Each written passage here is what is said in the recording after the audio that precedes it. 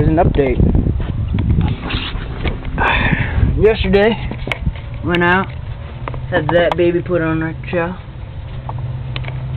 Gloriousness. Everything's all welded up. Good to go. Back out to the stock pipe.